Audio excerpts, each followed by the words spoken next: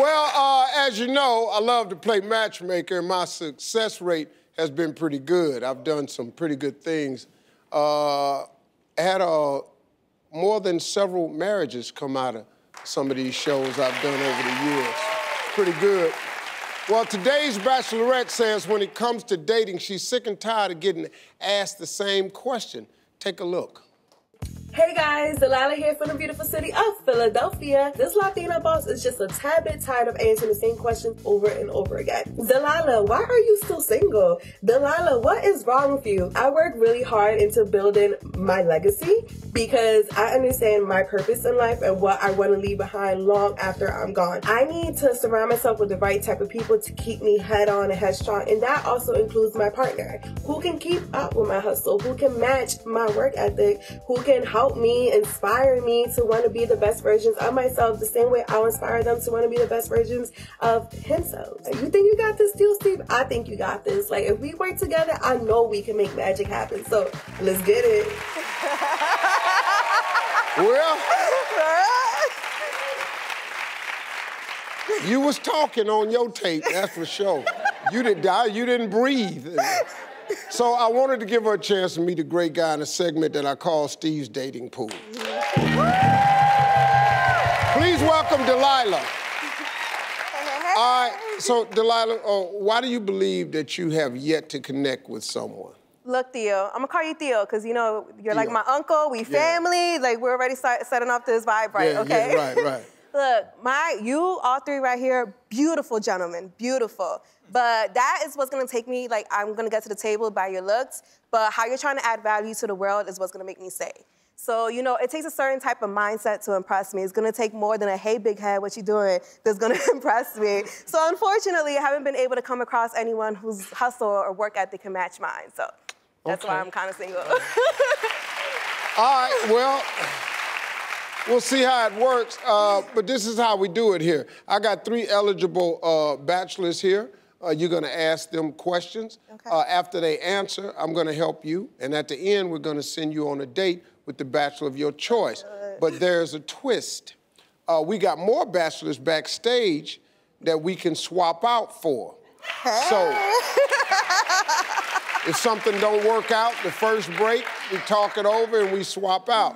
But let's meet the guys on stage. Gentlemen, tell us a little bit about yourself. How's it going, everybody? My name is Kenny. I'm also from Philadelphia. Hey, Philly John, okay. yeah, there you go, John, John, all that. And uh, I'm a photographer. How you doing? My name is Joseph Barr. I'm from New York. Okay. Um, I'm just happy to be here. Yes. Uh, my name is Lou from Philly as well, so definitely in the building. Philly in the house. Graphic designer, art director, Awesome. Okay.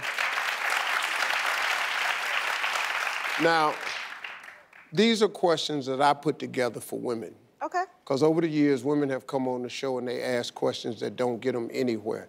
You can pick any of these questions you like.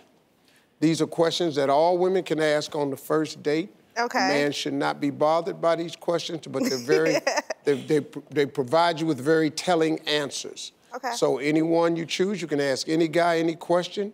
Take it away. What do you believe is your worst quality? Yeah, starting with Lou, I'm sorry. All right, um, my worst quality, I would say I spread myself too thin. Okay. Um, I try to do a lot of things. I'm active in a lot of different, doing jobs, free, freelance, and I have a lot of ambition. So try to sp I spread myself too thin. I think I don't put a lot um, focusing on myself. So I would say, yeah. yeah. Mm -hmm. Okay. Joe?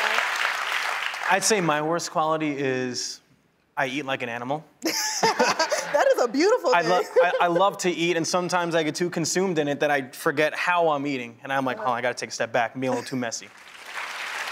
All right, what about you, Kenny? I'm an overthinker. Mm. It's like simple. I think I, I, was told it's a Capricorn thing. Okay. I know we think a lot, maybe. Yeah, I'm a Capricorn. Oh, okay. You think a lot? Yeah, I'm, I'm pretty deep thinker. Yeah, so I think that's that's my biggest flaw for sure. Okay, okay, good answers. Okay, so if you had to choose a model to live by, what would it be? Uh, I'm gonna have to go with the bad boy motto, can't stop, won't stop. Yes. yeah, a lot of ambition, a lot of, a lot of like, strong work, so. Keep pushing Never forward. give up. Keep pushing forward. Yeah, exactly. I like to live by the golden rule. Treat mm -hmm. others the way you want to be treated. Yes. Yeah. Amen. That's one thing I've learned out here is to take everything day by day. So Yes. I, I'd say that's my motto. You know, don't look too deep into the future. Just you know, keep it simple. Yes. Uh, so, what is the biggest lesson you learned from a parent? I learned a lot of things from my father, just how to treat women, how to treat uh, people around you, uh, how to have strong work ethic, uh, timing, just being uh, punctual, things like that. Just everyday things I feel like everyone should be on, typical. So, Yeah. Yeah. Good. The biggest lesson I learned from both my parents was to always have a great personality and to always be positive.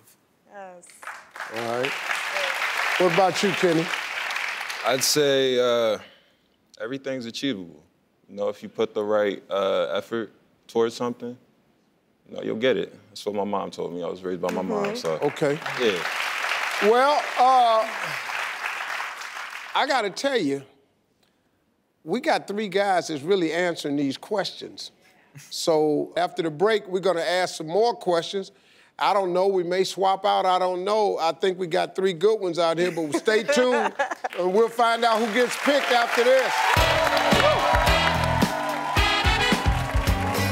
Hey, listen, it's your man, Steve Harvey. You know, uh, we could go on like this forever. I mean, literally, just press that subscribe button or click on this list and keep on watching. Man, it's me. Come on, join right now. Do it. What you waiting on?